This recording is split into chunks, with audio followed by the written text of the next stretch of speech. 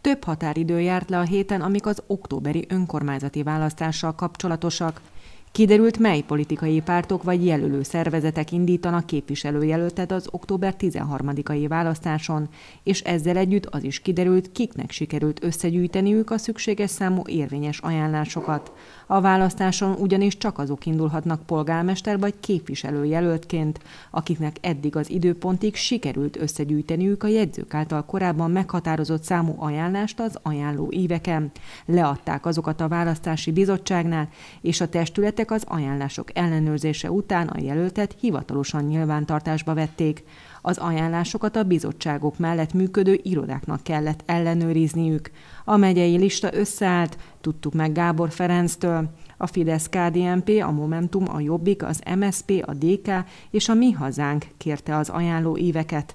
A német nemzetiségi önkormányzatnál egy, a romáknál pedig három jelölő szervezet állít listát Tolna megyében, mondja a Tolna megyei választási iroda vezetője. Mindenkit már ellenőriztünk, mindenki a szükséges számot összegyűjtötte.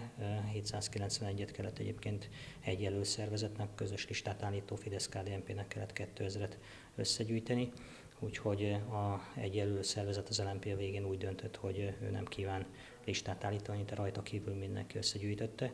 Ezen kívül nemzeti önkormányzatok is állítanak területi listát. Három polgármester jelölt, összesen 33 egyéni választókerületi képviselőjelölt, a német nemzetiségi önkormányzat részéről 7, a roma önkormányzat részéről pedig 12 képviselőjelölt bejelentése történt meg a Tolnai megye székhelyen, mondja Molnár Kata.